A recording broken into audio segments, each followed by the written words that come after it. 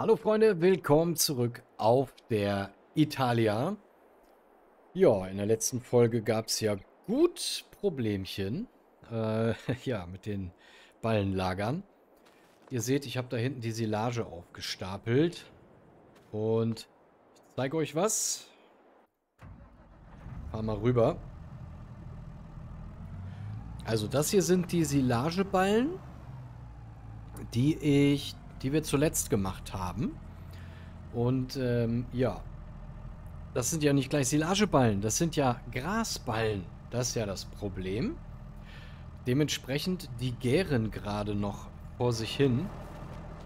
Können wir mal kurz zeigen. Die sind jetzt bei 4%. So, das hatte ich nicht beachtet. Und im zweiten Ballenlager, da hatten wir Silage reingepackt, beziehungsweise wir haben diese Ballen da reingepackt, die ja streng genommen noch Gras sind. Und dann hatte ich Silage geholt, weil das Lager, das fürs Stroh gedacht war, hat ja nicht so richtig funktioniert. Also wollte ich dann austesten, okay, funktioniert das, Sila äh, das Silagelager dann wenigstens noch? Und das nahm auch nichts mehr an. Und dann war ich total frustriert. Bis ich dann realisiert habe, haha, da seht ihr schon, was gleich kommt. Bis ich dann realisiert habe, Moment, du versuchst gerade Silage und Gras zu vermischen. Das ist nicht schlau. Dennoch, das hat alles so nicht hingehauen. Oh, hier ist noch, hier ist noch ein Rest. Hier hatte ich nämlich noch ähm, dieses kleine Ballenlager testweise gesetzt, um zu schauen, ob ich einfach mehr Abstand einhalten muss und es vielleicht daran liegt und hatte das hier relativ weit weggepackt, aber auch das hat nicht funktioniert. Also ich habe den Fehler nicht rausfinden können, wieso das nicht hingehauen hat. Und ja, jetzt habe ich ich bin in Kredit gegangen. Also erstmal bin ich auf Google gegangen und YouTube und habe mich ein bisschen umgeschaut. Und dann habe ich diese Ballenlager gefunden. Plus natürlich ähm, gibt ja jetzt auch die eine neue Variante dann mit angekoppeltem ähm, Lagersystem und so einem ganzen Krams. Man kann unterschiedliche Güter halt ins Lager packen. Das möchte ich gar nicht haben. Ich wollte das so separat haben. Und da ganz großes Lob an das Hot Team. Die haben gemoddet. Oh, jetzt muss ich einmal gucken, dass ich in die Arbeitsstellung zurückgehe, bevor ich hier vorbeifahre. Sonst hätte ich da... Obwohl, nee, ich habe Stroh drauf. Dann kann mir eigentlich nichts passieren. So, das Hot Team hat nämlich diese wundervollen Ballenlager gebaut. Können wir mal eben von oben gucken hier. Na, oder wir machen es anders. Wir stellen uns davor und gehen in den in meinen Lieblingsmodus. Den Fotografie-Modus, der schon wieder spiegelverkehrt ist. Warum? Das verstehe ich immer nicht. So, da sind die neuen Lager jetzt. Die gibt es für Gras, für Stroh, für Silage und für Heu. Also sehr cool. Und da geht richtig was rein, muss ich sagen. Ich weiß gerade tatsächlich gar nicht, wie viel. Ein paar Millionen Liter sind es, wenn man so möchte. So, vielleicht nochmal von der anderen Seite. Schön mit dem Traktor davor, das ist doch ganz cool. Oh ja, das sieht schön aus. Das finde ich gut. Da sind sie. Und ihr seht, das Strohlager, da ist schon ordentlich was drin. Mal kurz nachgucken, wie viel. Oha. 1,389, also knapp, nicht ganz 1,4 Millionen Liter Stroh sind hier schon drin. Und ich habe frustriert Stroh verkauft an meiner BGA. Und habe dann aber nachgeschaut und gedacht, Moment, wie ist denn der Preis eigentlich gerade? Und musste feststellen, der Preis ist aber ganz unten. Weiter nach unten geht es nicht. Aber gut zu wissen, ich werde das Stroh an meiner BGA los und das ist dann auch direkt weg. Das befüllt auch gar nicht erst die BGA. Ähm, das kann ich da also dann bei gutem Preis-Leistungs-Verhältnis hier in der Nähe raushauen. So, ihr ladet ab, hier vorne auf dem Trigger. Und wie gerade gesehen, verschwindet der Ballen dann hier direkt im Lager. Und wenn ihr es ausgebt, dann könnt ihr unterschiedliche Möglichkeiten wählen, wie das da rauskommen soll. Und das wird dann hier an der Seite aufgereiht. Können wir mal kurz reingucken. So, jetzt könnte ich sagen, was? Wir haben ja nur Stroh. Okay. Jetzt könnt ihr sagen, was für eine Art Ballen. Wir haben Rundballen reingehauen. Aber eigentlich kleinere, oder? Gibt es kleinere? Ne, gibt nur größere. Die werden immer größer, also bis 11.000 Liter. 5, 7,5 und 11.000 Liter Rundballen. Und dann habt ihr hier noch unterschiedliche Quaderballen zur Auswahl, die ihr hier auswerfen könnt. Wir werfen einfach mal den Rundballen aus. Okay, zack. Und dann steht er hier. So schaut's aus. Da wieder hingepackt. Zack, ist er wieder drin. Dann können wir uns auch mal einen größeren angucken. Stroh. Gib uns mal den ganz großen Rundballen. Das müsste, glaube ich, dieses Format... Hoppala. Ja, wollte ich gar nicht hin. Das müsste dieses Format Baumwolle sein, glaube ich, ne? Oder? Doch? Kommt das hin? Ist das das Baumwoll-Ballenformat? Oder sind die noch größer? Bin mir gerade nicht ganz sicher. Der braucht ein bisschen länger und dann ist er auch wieder weg. Gleiches Prinzip bei der Silage. Da weiß ich allerdings nicht genau, gibt es die gleichen Formate? Können wir mal kurz schauen. Aktuell 84.000 Liter drin, aber ich habe auch das Keilsilo noch nicht leer gemacht. Also hier ist eine, hier sind 24 Ballen drin. Also klar, 85.000 Liter. Ähm, aber hier gibt es tatsächlich... Na, sind ein paar Quaderballen weniger, ne? Da gibt es nicht ganz so viele Formate. Ja, so schaut's aus und ich finde, das schaut gut aus. Das schmiegt sich hier schön in die Linie mit ein. Einmal so rum. Das heißt, ich kann hier am Rand jetzt auch nochmal was abstellen. Eigentlich wollte ich die Ballen ja gerne hier auf der Seite haben. Aber mittlerweile finde ich es auch gut, dass die hier drüben sind. So wie sie eingepasst sind, fügt sich das da gut ein. Ich habe die Gleise ein bisschen aufgeschüttet. Da hinten hatte ich das auch schon gemacht. Einmal auf der Seite hier und einmal auf der Seite habe mir quasi selber so gewisse Bahnübergänge gebaut, damit ich hier nicht immer rückwärts rein und raus muss, rein oder raus, je nachdem, sondern ich kann jetzt hier so einen kleinen Weg folgen durch die Bäume. Am Baum rechts muss man ein bisschen aufpassen, da bin ich schon dran hängen geblieben. Und dann kommt man hier wieder raus. Ich glaube, das ist absolut sinnig. So, jetzt müssen wir aber Manual Attach wieder einschalten. Das war hier. Das hatte ich nämlich... Ne, Moment, das ist an. Ach ja, ich habe jetzt... Ja, ich habe den kompletten Rechner neu gestartet. Ich habe alles probiert, um die Mod, die ich da vorher verbaut habe, zum Laufen zu bekommen. Aber das wollte partout einfach nicht. Und an den Ballen kann es also nicht gelegen haben, weil hier in der Mod von Hot wurden die ohne Probleme einfach reingezogen. Da gab es äh, keine Verzögerung, nichts, keine Problemchen. Einfach gesetzt, draufgelegt die Ballen und zack, waren sie weg. Ja, so der Stand hier. Was haben wir jetzt noch zu tun?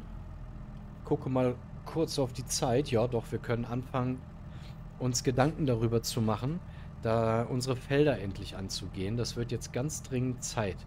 Und ich bin mir nicht mehr ganz sicher, wo habe ich meinen Grubber hingestellt? Habe ich hier reingepackt, ne? Ja, da steht er. Da steht unser Frontgrubber. Ich wollte aber einmal schauen, was wir... fahren einfach eben mit dem Traktor rüber. Äh, ob wir mulchen müssen oder nicht, ich weiß es nicht genau. Ich meine, nein. Oder flügen. Ah, das macht sich echt gut da hinten im, im Hintergrund. Könnte ich natürlich auch übers Menü nachgucken, aber wir donnern hier einfach mal eben rüber. Hm. Was war denn das? War das Gerste? Ich weiß es nicht mehr genau. Hier steht noch ein Rest. Ach, Raps war das, ne? Wir hatten hier Raps. Unkraut wachsend. Raps. Kleines bisschen steht hier noch. Äh, nach Raps müsste man eigentlich nicht mulchen, wenn ich mich nicht täusche. Kurz na... Ah, schau an. Da ist er direkt dahin gesprungen. Mal kurz nachschauen zur Sicherheit. Grubbern. Wo ist M M Mulchen? Kalken, Mulchen. Durch das Aufbringen einer Schicht aus biologischem Material auf den Boden verbessert das Mulchen den Boden und damit auch den Ertrag deiner Pflanzen. Verwende einen Mulcher auf den Stoppeln nach der Ernte, bevor du das Feld bestellst. Dies gilt für alle Früchte, die Stoppeln hinterlassen. Ja, das haben wir hier. Du erhältst einen Bonus auf deinen Ertrag bei der nächsten Ernte. Beim Anbau von Traubenreben und Oliv oder Olivenbäumen grubbert man zuerst, anders als bei Erntestoppeln, und mulcht einige Zeit später. Achso, erst grubbern und dann mulchen. Okay, sobald das neue Gras zu wachsen beginnt. Ah, also anstatt rüber zu mähen, mulcht man dann drüber. Okay, das ist ja auch wichtig, weil wir haben jetzt ja Traubenreben, die wir auch vorbereiten müssen.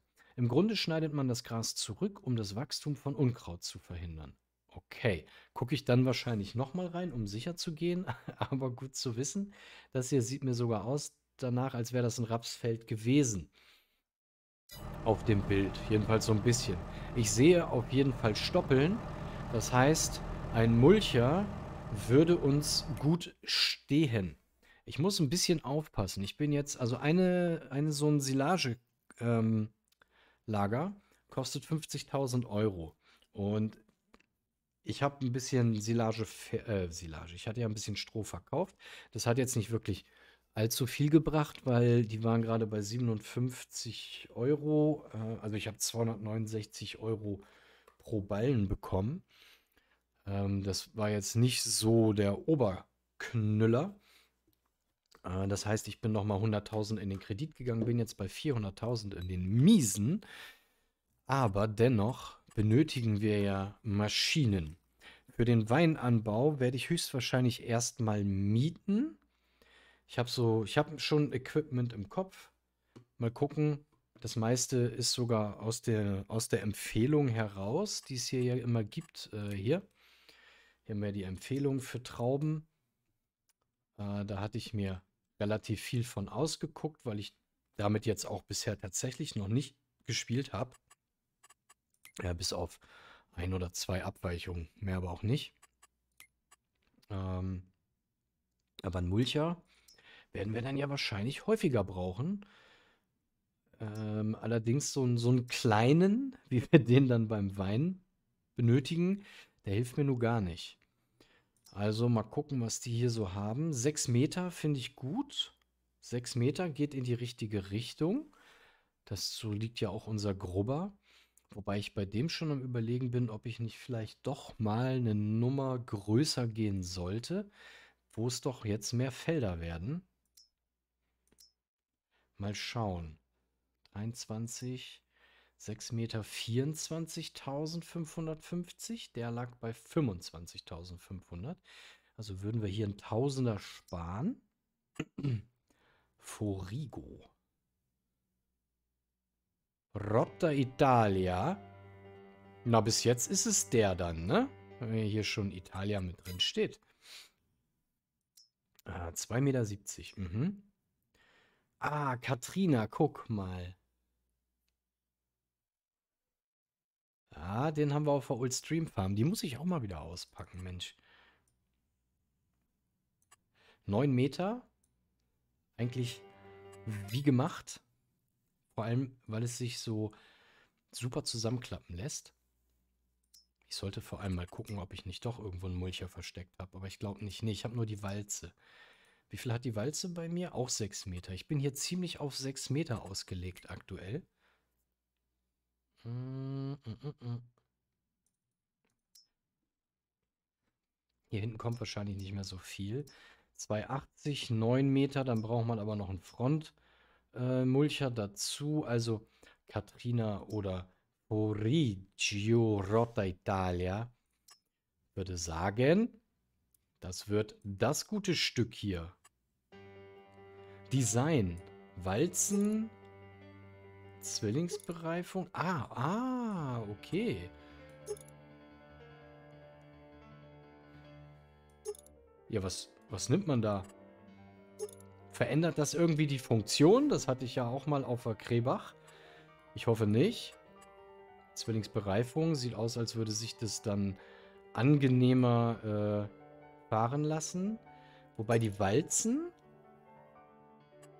Macht auch Sinn, ne? Dass man da nochmal drüber walzt. Wir bleiben mal bei den Walzen. Winkel des Designs. Aha.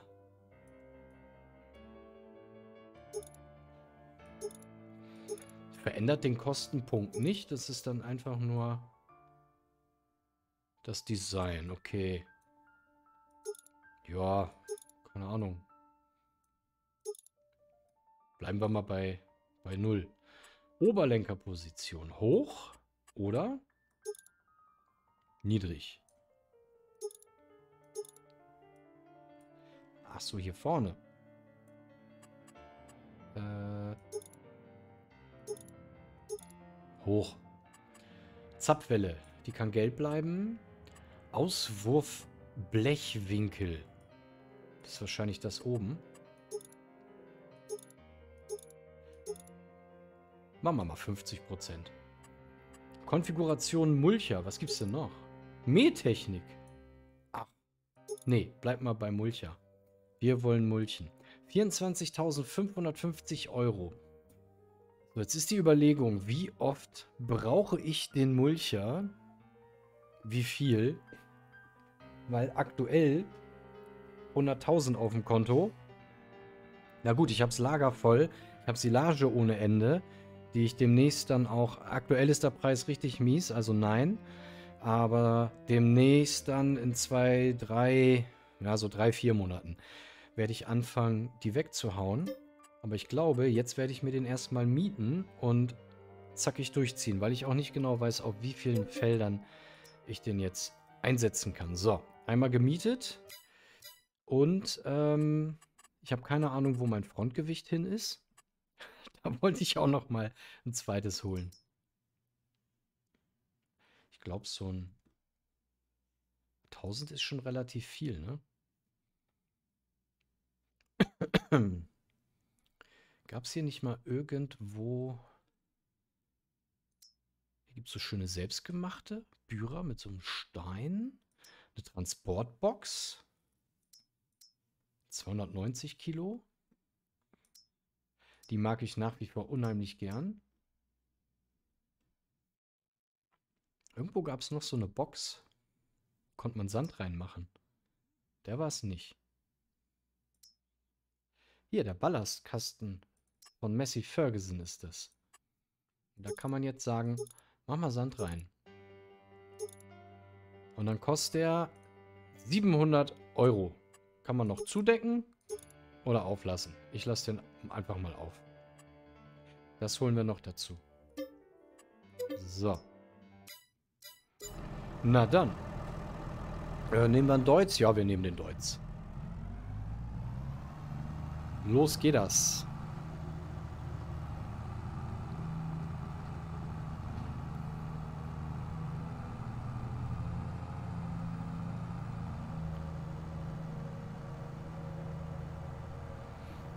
Hier sollte ich tatsächlich auch mal kontrollieren. Ähm, ich habe gar nicht mehr nachgeschaut, ob ich noch düngen muss oder ob ich schon, ob ich es verpasst habe. Das kann nämlich gut sein, dass das an mir vorbeigegangen ist. Gedüngt, 100%. Huh, ein Glück. Alles richtig gemacht. Sehr schön.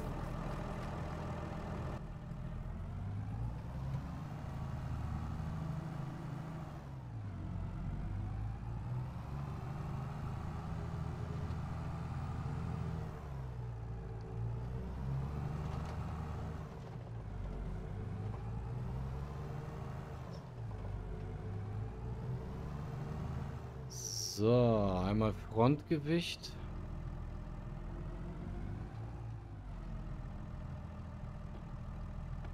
Ha! Mit Lenkrad? Genial. Bin ich schon dran? Ausreichend. Mal anheben. Werden wir gleich nach vorne gezogen. So sieht das gute Stück aus. Okay, hier ist, sieht aus, als wäre da so eine, so eine Frischhaltefolie drüber, aber okay. Aber schon eine ganz coole Sache, finde ich.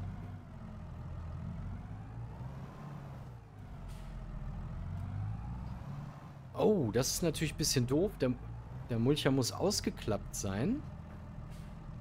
Beim Ablegen. Das braucht wieder unnötig Platz. Aber okay.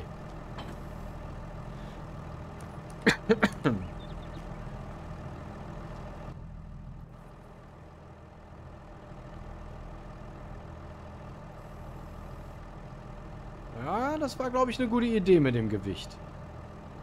Das äh, könnte sonst in die Hose gehen hier.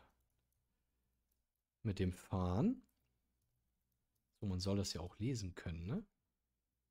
Unser neuer Mulcher. Ich präsentiere. Sehr gut. Einmal zusammenklappen. Wunderbar. Das ist doch spitzmäßig. Auf zum Feld. Um dann festzustellen... Achso, ist gar nicht unser neuer Mulcher. Es ist das neue Leasinggerät so. Ähm, um dann festzustellen, ja, nee, Raps doch nicht Mulchen. das würde ja generell passen, wenn bei mir mal was nicht hinhaut, ne? Aber schön wäre es auch, wenn es mal wieder rund läuft. Das war jetzt schon die letzten Folgen so ein bisschen deprimierend, muss ich sagen.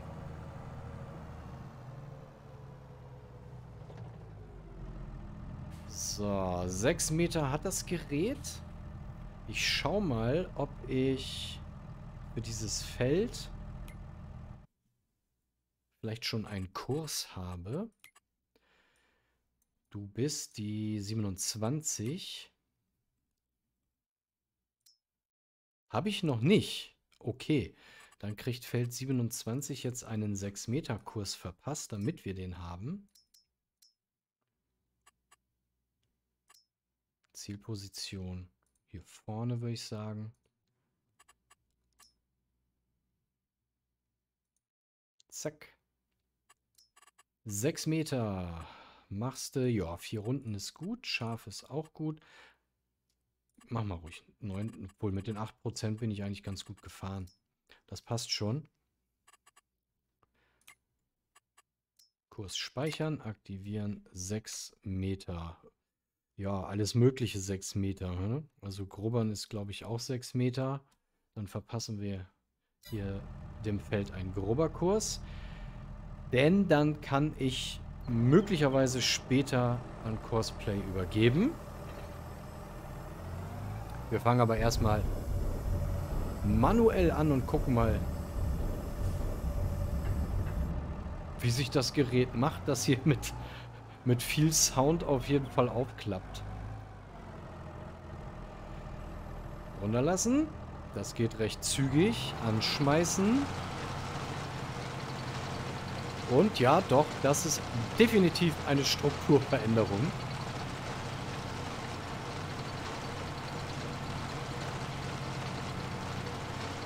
Und für mehr Ertrag tun wir natürlich viel. Nicht alles, aber viel.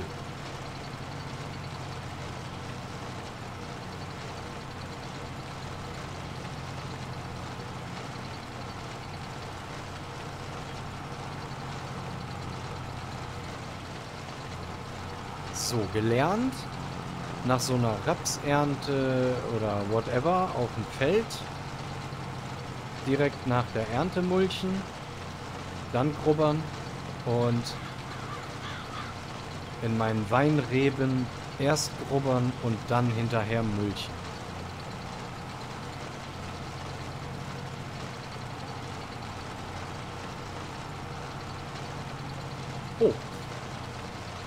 Soll ja auch vernünftig sein. Einigermaßen vernünftig.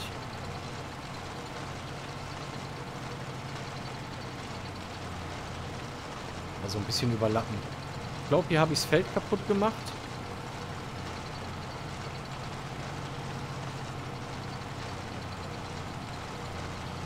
Das muss ich dann beim Grobern mal nachkorrigieren. Ich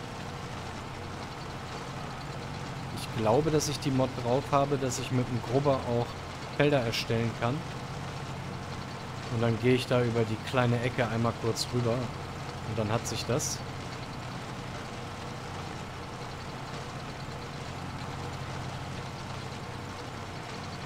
Es geht relativ zügig von der Hand, würde ich sagen.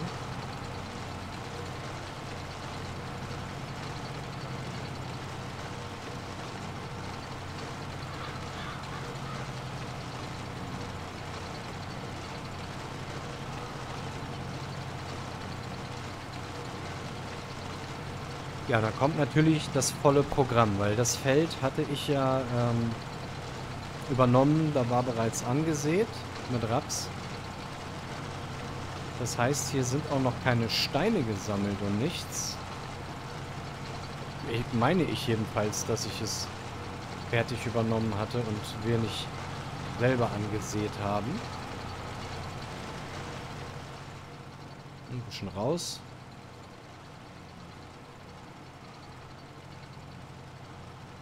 Das heißt, das Programm werde ich hier dann auch nochmal nachziehen.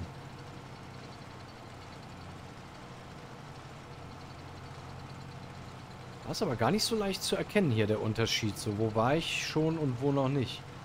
Wenn man in die Ferne guckt, geht's. Aber wenn man direkt auf die Stelle guckt, auf der man gerade fährt, finde ich es gar nicht so 100% ersichtlich.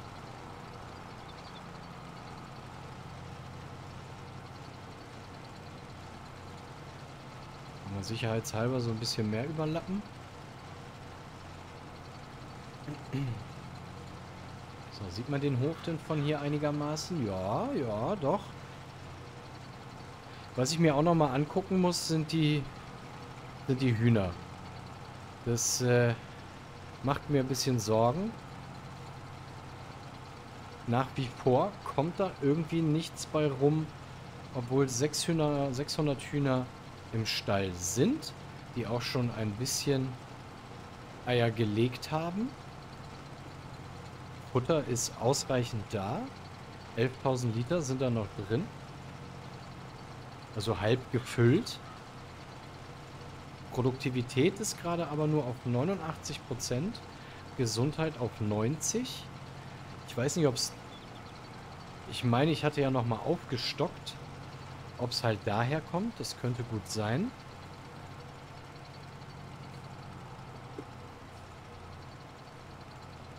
Ich glaube, dann wird es neu berechnet, ne? Aber auch vorher hätten die ja schon mal ein bisschen in Gang kommen müssen. Theoretisch.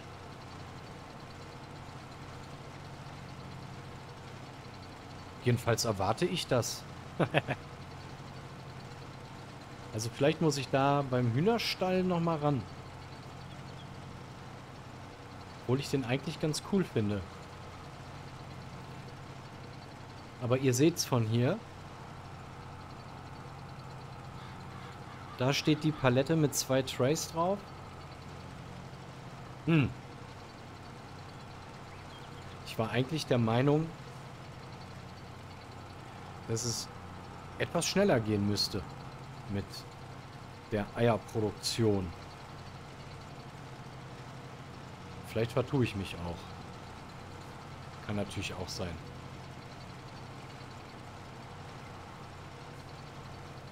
So, ich würde sagen, wir machen das jetzt so. Wir gehen hier schon auf die Bahnen. Bei eine Runde... Ja, doch, ich mache noch eine Runde. Eine mache ich noch.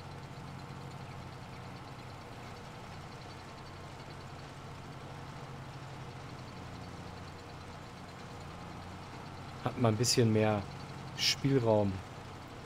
Ah, so sieht man es gut. Perfekt. So ein bisschen biologisch bleiben und die vorhandene Biomasse hier unterbringen und nutzen. Optimal.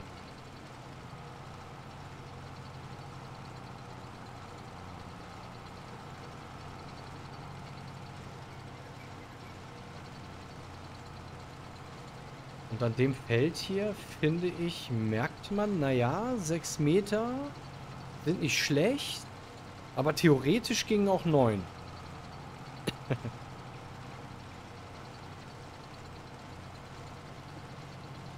aber der handelt sich hier sehr gut, muss ich sagen. Man ist schön beweglich damit. Äh, ziemlich präzise. Und da der jetzt nicht angehängt ist, ähm, wie der Katrina Mulcher, der dann da ja hinten dran hängt wie so ein wie so ein größerer Grubber oder eine Seemaschine, funktioniert das hier echt einwandfrei zügig von der Hand.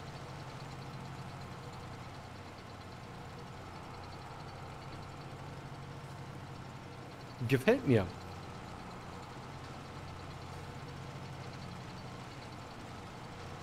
Also das könnte tatsächlich unser Mulcher werden, wenn ich mir mal einen kaufe. So, hier sieht man auch jetzt die ganzen Steine. Dann ist das Feld definitiv nicht von, von mir bestellt worden. Die hätte ich runtergesammelt. Alleine schon, weil ich den Kalk haben will. Wobei ich... Ich habe mich ja umgezogen. Es ist euch sicher aufgefallen. Ich habe nicht mehr die... Äh, Baumfällerklamotten an, sondern habe jetzt wieder schwarzes T-Shirt und Jeans, meine ich. Na komm, eine machen wir noch. Dafür musste ich äh, zur Hochfläche oben zum Umziehen und habe dann gesehen, oh, hier steht aber noch gut Kalk rum, den ich irgendwie gar nicht mehr auf dem Zettel hatte.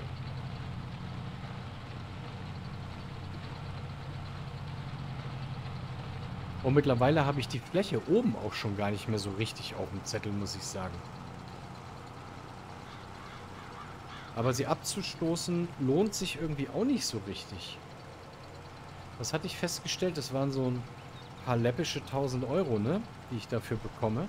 Das interessiert mich gerade. Das möchte ich einmal wissen. Wie viel kriege ich für die Fläche hier oben theoretisch? Ah, da gehört die Wiese auch zu. Ah ne, hier, der kleine Part. So. Naja, Wert 25.000 Euro. Also das ist tatsächlich doch noch Kapital, das ich äh, in der Hinterhand habe. Die Wiese hier zählt einzeln. Ja, 25.000 Euro ist das Stückchen hier wert. Nicht ganz zu vernachlässigen, falls ich mal doch mal ganz dringend Geld brauche. Weil aktuell steht da jetzt tatsächlich gar nichts mehr. Was ich überlege ist, ob ich da oben nicht das ganze Mäh-Equipment hinpacke, weil da halt die beiden großen Wiesen sind. Dann wäre das ja relativ naheliegend, dass ich das da unterbringe. Jetzt gerade steht es hier unten am Hof.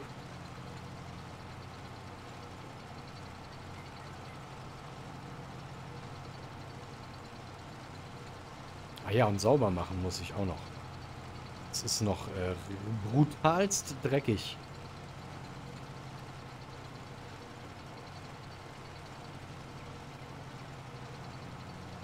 Ich hab, ich bekomme fast das Gefühl, dass sie dem Zug hier irgendwie mehr Geschwindigkeit verpasst haben.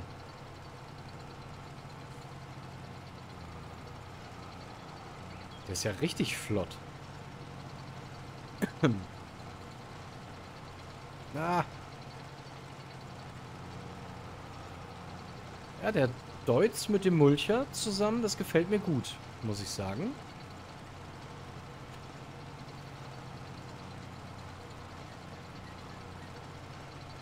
Wenn so ein ganz kleines bisschen stehen bleibt, das ist okay. Aber das Wenn ich da nicht genug aufpasse, stört mich das schon.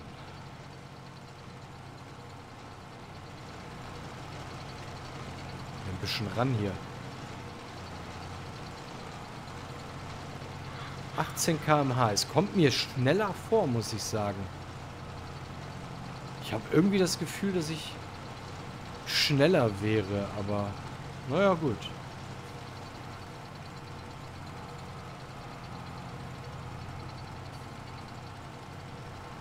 So, jetzt gehen wir aber mal auf die Bahnen hier.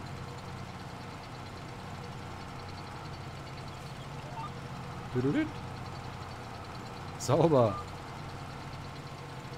Ich wollte eigentlich mehr so in die Richtung. Nein? Mehr so in die Richtung. Ja, genau, genau. So ist das gut.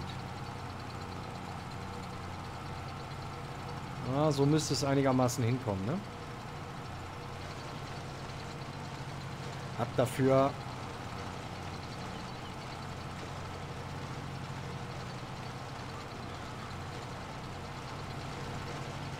Er macht sich gut. Der Roto Italia. Oh, ich liebe diese. Diese Sicht. Hier oben mit den, mit den Serpentinen. Das ist schon mega cool.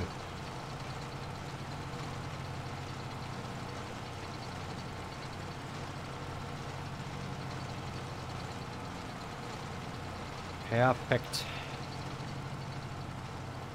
So,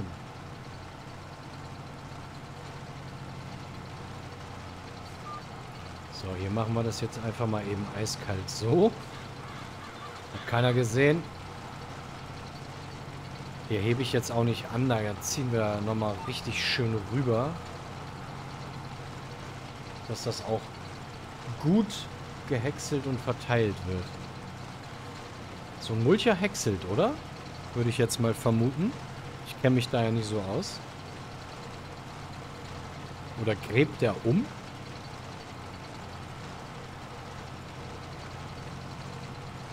Ich weiß gar nicht, was, was Mulchen bedeutet.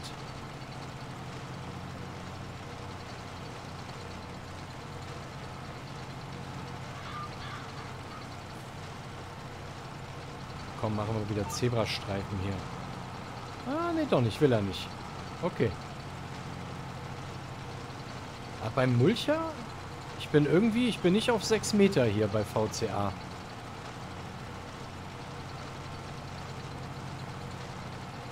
Da sind eher so äh, hier 50, 5 Meter eingestellt.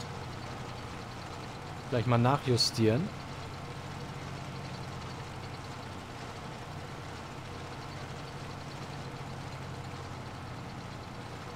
Beziehungsweise wir machen das anders. Wir gucken jetzt mal.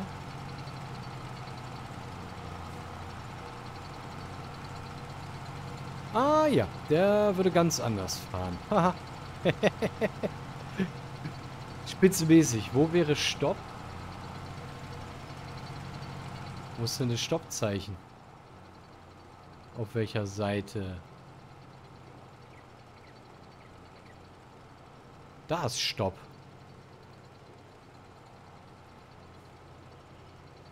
Okay.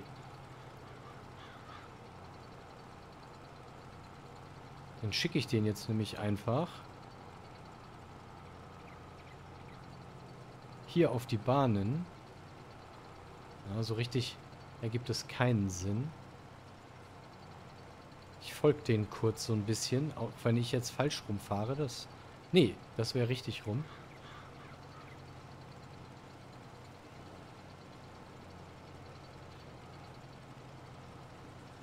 Aber auf der anderen Seite ist falsch rum.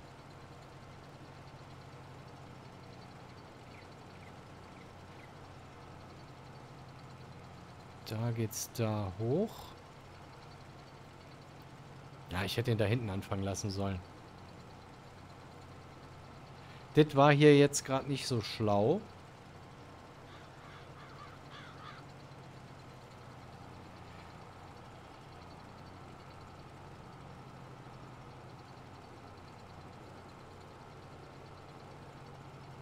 Schicken den hier hoch und dann übergebe ich.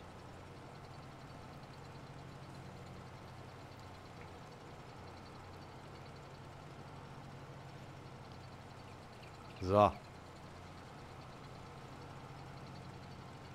Ja, das sieht doch gut aus. Ah, dann genießen wir noch ein bisschen den Blick. Fantastisch. Oh, ich würde sagen, ich war sogar schneller hier unterwegs.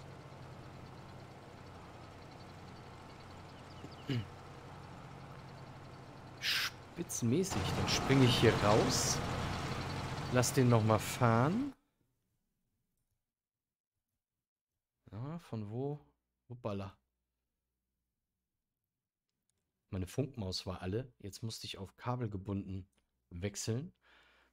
Und bleib mit dem Kabel immer hängen, weil ich das überhaupt nicht mehr gewohnt bin. Aber ich habe halt vergessen, sie aufzuladen. Also selber schuld. Ich wollte jetzt mal schauen, wie das quasi von hier aussieht. Wenn man von hier jetzt hochsteigt, wie denn der, der Blick jetzt so ist. Oh, das nimmt richtig gut Formen an, würde ich sagen.